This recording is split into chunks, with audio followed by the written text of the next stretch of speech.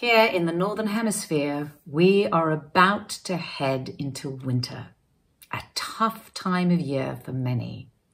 But did you know that there's something that can really help you get through it in a healthy and uplifting way and that it's completely free?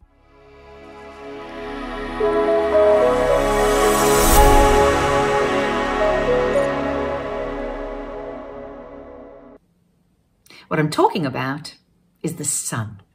In particular, the morning sun, because the morning sun is filled with so many benefits for us and is actually vital for the proper functioning of our bodies.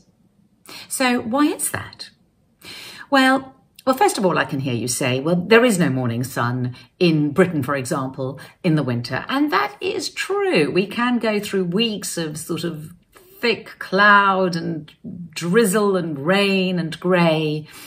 But there will still be the sun's rays going through the clouds and they will still benefit you. So look for the light, look for the morning light and spend a good few minutes outside, even when it's cold, because it will really benefit you. So there are two kinds of lights. There's the infrared light, which actually charges your mitochondria, a very important part of your cells, the most ancient part of your cells. So it's important to have healthy mitochondria. It also helps to improve your collagen and increases the antioxidants in your cells. So very, very important. And then there's the blue light, which is equally, if not more important. So the blue light is picked up by our eyes. In fact, a lot of the light through the day is picked up by our eyes, which makes it very important not to wear sunglasses. Now, probably in winter, you're not going to do that anyway, but in case you're one of those people who even wears sunglasses inside, don't. But even if you're in the southern hemisphere and you're heading into summer, uh, it's very tempting to wear those sunglasses, but leave them off for long enough to let your biorhythms reset because this is what the blue light does. It helps to reset all the processes in your body, including hormones, temperature, digestion, and sleep. And we, it's very important to have our hormones regulated in the correct way. And this is what the blue light is going to do for you. In fact, they say that a good night's sleep starts in the morning. Because in the morning, when your melatonin, for example, is properly regulated, your melatonin levels are going to go down. And then they'll go up again at night and help you to sleep. So this is part of what's going to happen with the blue light and regulate it and make sure that your melatonin levels go down. And then there's the mid morning sun. So we need another little hit of light in the mid morning. And the UVA that we get from the light in mid morning helps to activate our neurotransmitters. So our, it's going to increase our serotonin and our dopamine. This is going to increase our energy. It's going to help our mood. This is very important if you suffer from seasonal affective disorder or SAD, as it's called. And many people do, and it can make your life pretty miserable in winter. So it's very, very important to make sure you get this light. And also, it will help to get those melatonin levels to go down.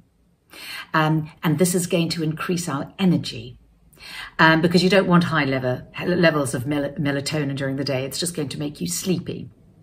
And then as the day goes on and you get to the evening, then that serotonin is going to become your melatonin and your energy will go down and your sleepiness will increase.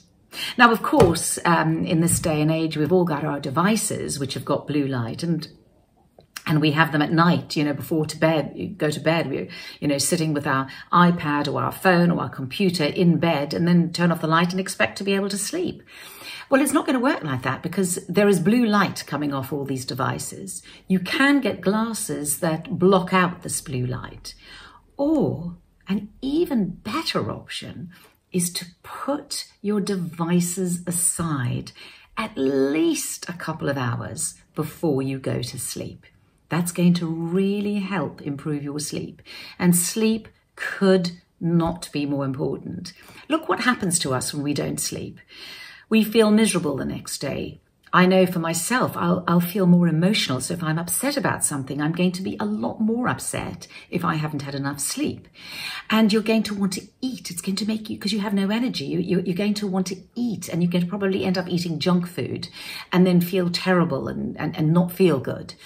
So um, to get, to help get that good night's sleep, put your devices aside at night and get your hit of light during the day.